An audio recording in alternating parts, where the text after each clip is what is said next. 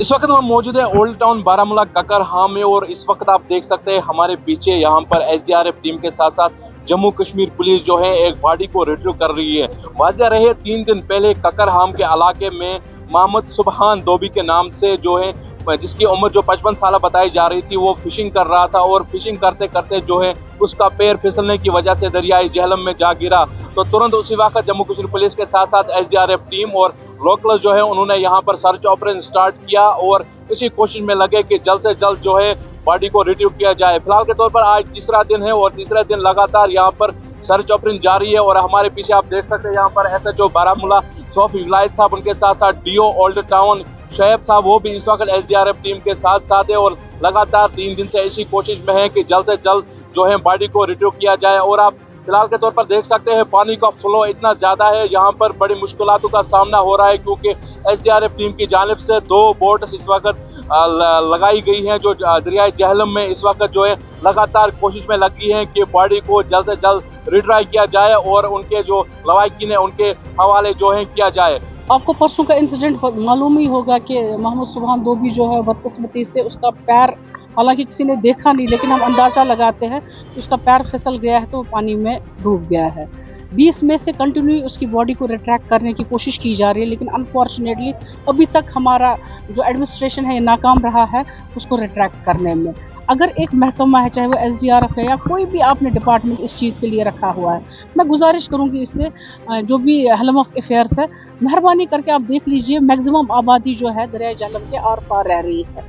खासकर ये वाला साइड जो है ओल्ड टाउन साइड इस यहाँ के बच्चे, यहाँ के बुज़ुर्ग, यहाँ के जवान जो है, इस बैंक्स पर यूजुअली बैठते हैं, क्योंकि कोई रेड जोन है नहीं, किसी ने यहाँ पर कोई वो स्टेशन नहीं रखे भाई यहाँ नहीं रखो, या कोई ऐसी अनाउंसमेंट नहीं होती है कंटिन्यूसली या एक दिन के बाद ऑल्टरनेट डेज़ पर, जो इनसे कहें कि इन बैंक से आप दूर रहे।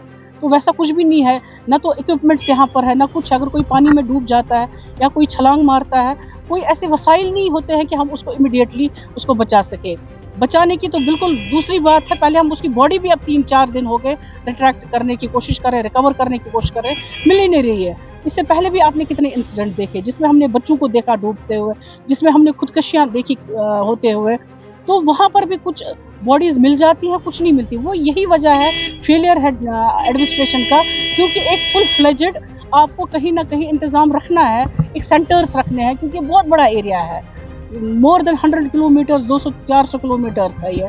तो इन किलोमीटर्स पर आपको बहुत ज़रूरी है आप स्टेशन रखें इक्विपमेंट्स रखें लाइफ सेविंग जैकेट्स रखें बोट्स रखें, ताकि अगर कोई डूब जाता, गोताखोर रखे तो अगर कोई डिपार्टमेंट है तो उसको इक्विप आप कीजिए अदरवाइज़ क्या मीनिंग है इसका? इसका मीनिंग ही नहीं है।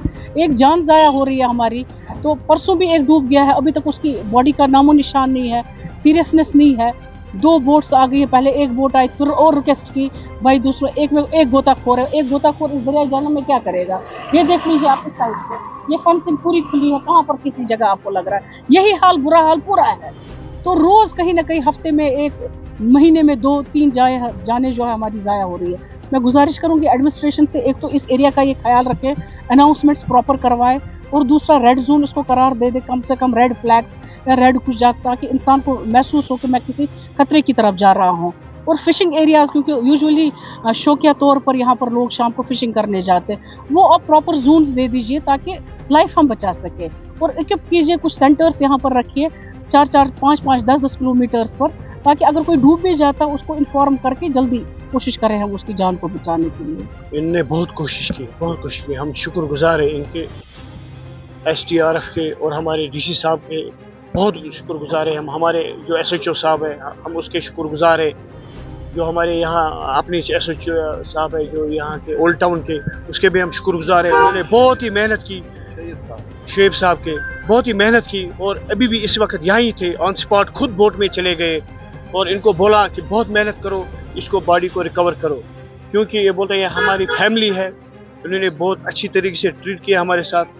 ये बोलते हैं हमारी फैमिली मेंबर है ये लोग और इनको ये बॉडी रिकवर करके फटाफट दे दो।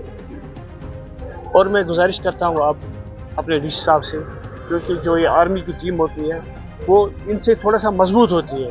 तो अल्लाह आप इसको हमें रिकवर बॉडी को रिकवर जल्द से जल्द दे क्योंकि हम लोग बहुत परेशान हैं बहुत परेशान हैं। हमारे हमारा मोहल्ला ही परेशान है।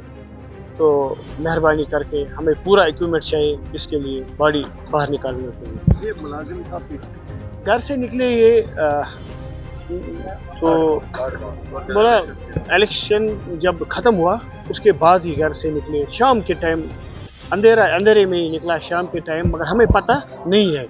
और तब से मिसिंग है। हम ढूंढते रहे। दो तीन बजे तक हमें नहीं मिला।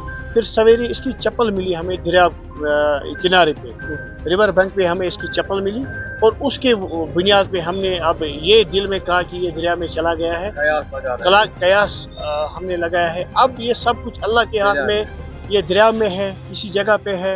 अब हम अल्लाह को यही गुजारिश करते हैं कि वो जल्द से जल्द इसको अपने फैमिली में वाजिया। हमारा हमारा तीसरा दिन है रेस्क्यू को इंसिडेंट चार दिन पहले हुआ है, हमारा तीसरा दिन है, लेकिन इंसिडेंट कितने टाइम में हुआ, कितने बजे हुआ, दिन में था, रात में था, वो हमें नहीं है। हमें तीन दिन पहले इंफॉर्मेशन मिली थी तो हमने सुबह के साढ़े छः बजे रेस्क्यू ऑपरेशन शुरू किया है।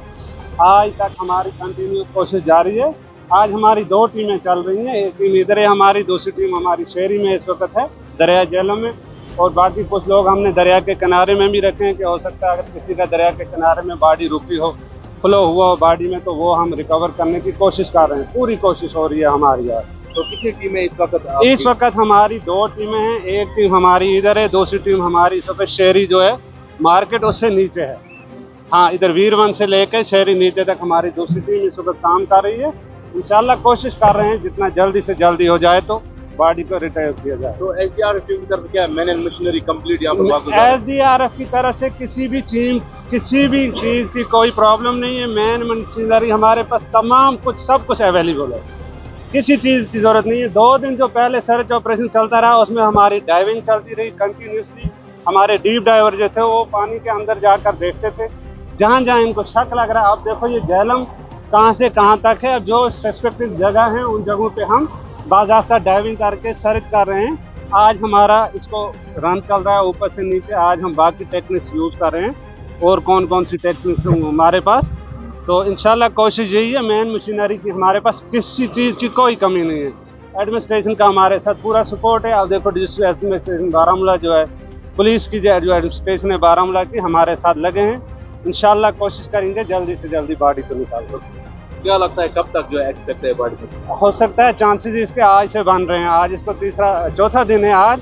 आज से इसके चांसेस हैं बॉडी को किसी भी जगह फ्लो में आ सकती है। तो वाटर की जो बहुत ज़्यादा है। बाद में पानी का जो करंट है पानी में बहुत ज़्यादा है। आप देखो इस दरिया में सुखद बोट हमारा चलना बहुत मुश्किल हो गया अपोजिट डायरेक्शन में। क्योंकि पानी जो है ये करंट वाला है। पानी करंट वाला है इसलिए बाड़ी नीचे भी गई होगी हो सकता है इधर भी किसी जगह होगी। कोशिश करेंगे हम इंशाल्लाह बाड़ी को निकालने बाकी क्या कुछ रहेगा, ज़रूर अपने नाजिन तक शेयर करेंगे। ओल्ड टाउन बारामूला से न्यूज़ इंसाइडर के लिए शेख संजील